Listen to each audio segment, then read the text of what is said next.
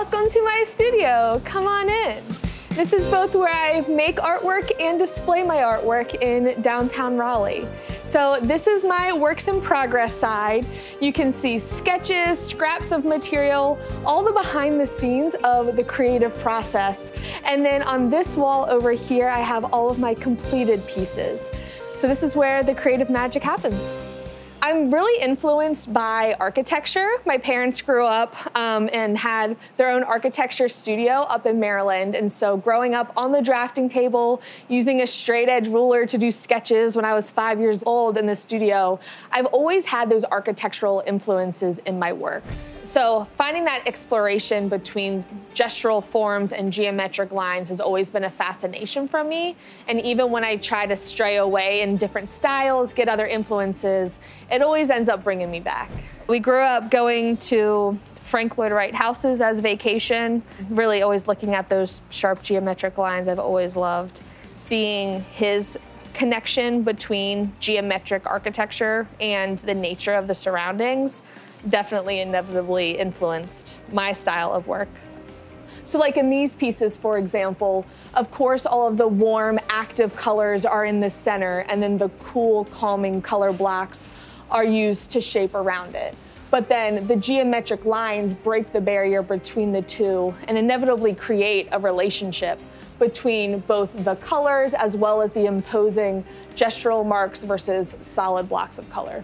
People have different interactions with each of the colors. For me, the warm colors really ignite that energy. It's very aggressive and fiery. You're really energized by it, and I think that's also emphasized by the way this mark making is done. And then the cool colors are inherently calming. You think of the sky, think of the ocean, those cooling elements, and there's less contrast between one tone to the next when compared to a super bright neon yellow and then a super dark burnt red.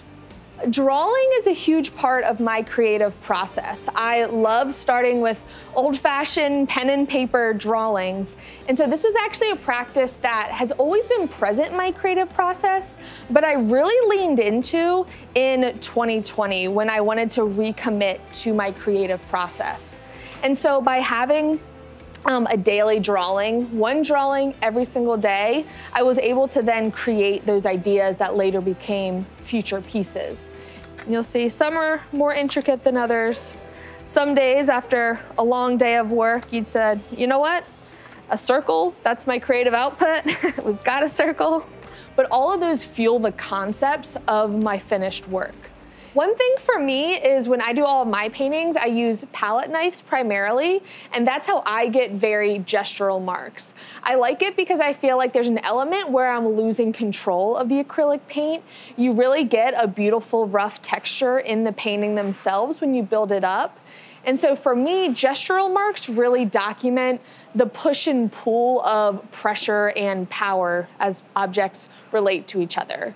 For a rigid mark, I feel like it's an interruption. I feel like, especially in my work, for straight, rigid lines, they often disrupt a current shape, a block of color, or divide two opposing elements within a piece. This is also part of my process. There's a lot of taping.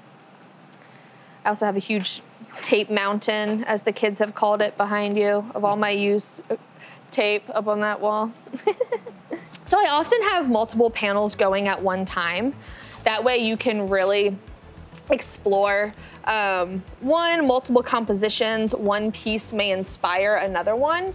And also logistically, while one is drying, you can put paint on the other one and have multiple going at one time, which is very helpful. Making, again, effective use of your time and time in which you're in the studio. So these are two paintings within my Sunrise series. They're 36 by 36, acrylic on panel. This one is named Does This Change Everything? And this is named Am I a Regret or a Fond Memory? But these two specifically, I also explored other variables of exploring how line interacted within the composition. So a lot of them are stark white lines, but I also have transparent lines as well. I love those moments within a painting that you may not see right away, but when the light catches it correctly, you think, is there a line there? Is it not?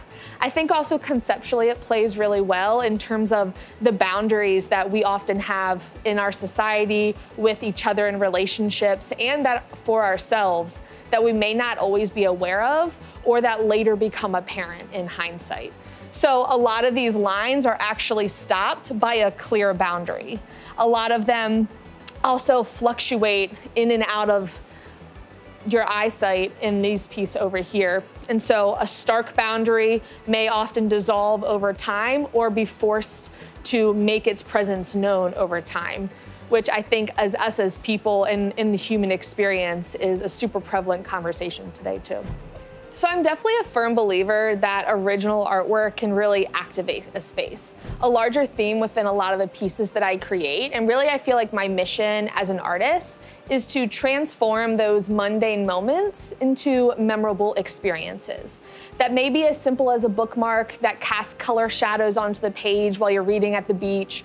It could be an original painting in your home that becomes a story when you have guests come over. Or it could be a big mural in a community space that that you remember taking pictures in front of or sharing memory with your family. Each of these things that really transform a seemingly mundane moment of walking through a parking lot into a memorable experience that activate communication between people in our community. I feel like that's a huge role in which artists can really lift up our community around us and energize conversation.